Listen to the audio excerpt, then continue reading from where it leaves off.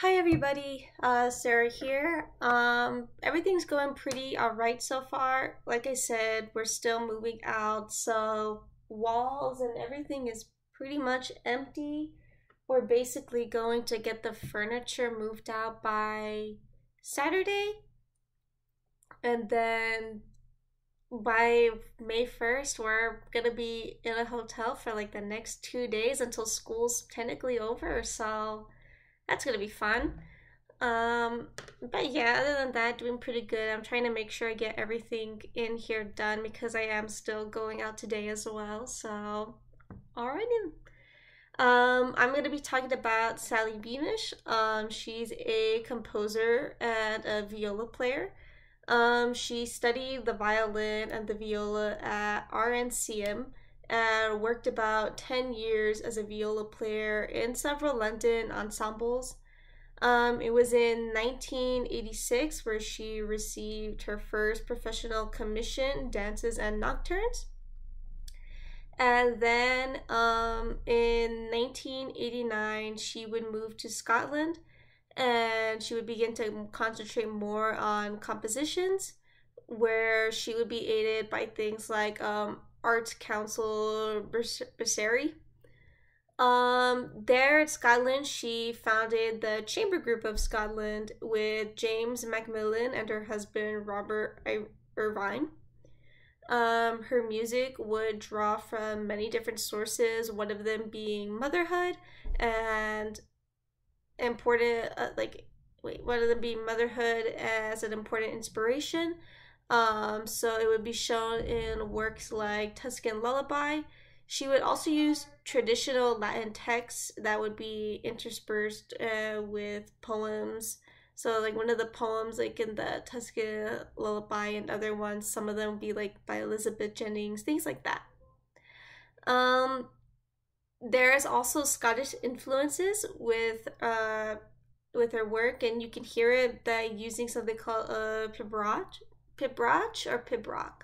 Um, the piano in a piano trio, um, Piobaireachd, uh, in 1991, and also in her first symphony in 1992, which would be commissioned by the city of Reja- Re- uh, sorry, Reykjavik.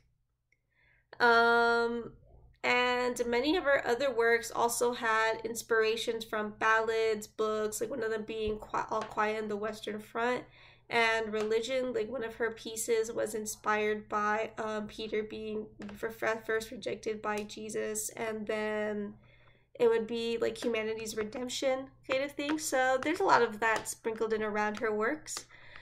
Um, one of the songs that I'm going to talk about is um, In the Stillness, which has a lot to do with those um, religious themes as well.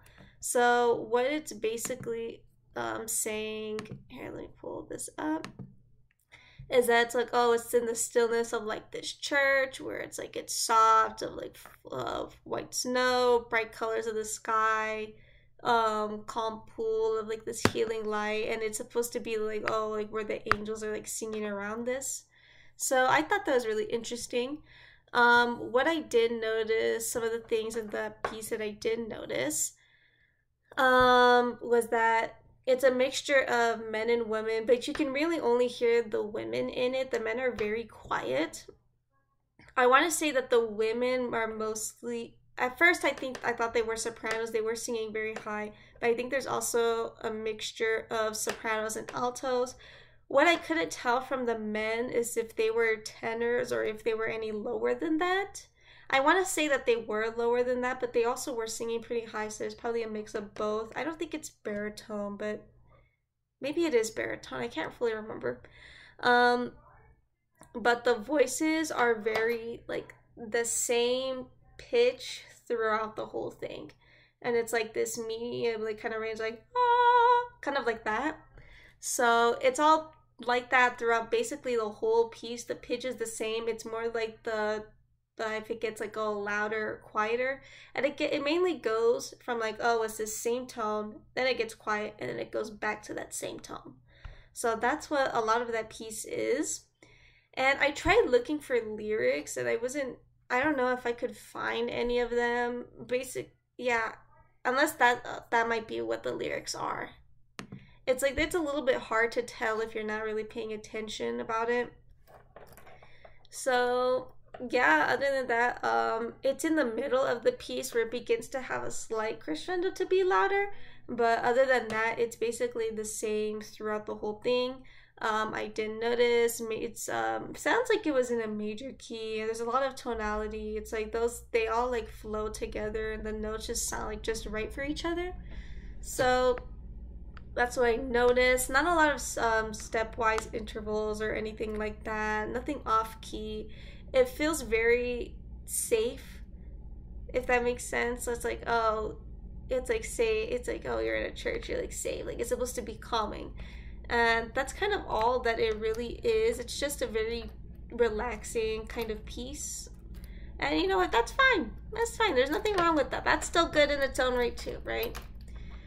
So that's just some of the things that I noticed in this piece. Um, I do think that she's an interesting composer. I wish that I could find a little bit more stuff about her, but it's okay. It's like she still has a pretty um, strong lineup of her works.